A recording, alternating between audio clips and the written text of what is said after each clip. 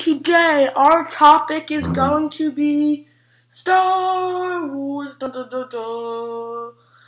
Alrighty. So today we are going to talk about who is Snoke.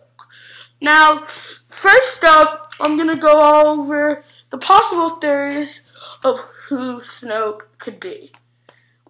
Okay, number one, let's start with Jar Jar Binks. Let me tell you the reason why. Jar Jar. Um, it's basically because he he acts like such a crazy character that doesn't know how to do anything. But apparently, from a YouTube video I watched, it says he's just acting crazy so they don't find out he's a spy for the Sith. Dun dun. Now this is my hologram, hologram projected self saying that. Do do do. Look, I'm a hologram. Put my hand right through me.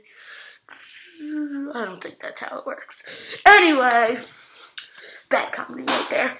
Okay, so next up, let's talk about Mace Windu. Um, plotting revenge on the Jedi. No, I don't really believe in Mace Windu as much as I believe in the Jar Jar theory. But, uh, I still believe in it a little bit. Now, um, he's just like, wait, I think there was something that, such, that he tweeted, such a good character, why have I died, or something. I'm not 100% sure, Samuel, so, alright. Okay, so next, let's go to my final and most likely theory.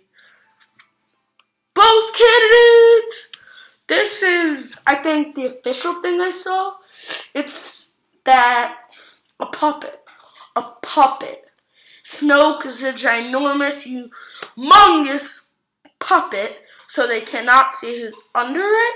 That is why he was so big in the hologram, which um could be one of many people that that was.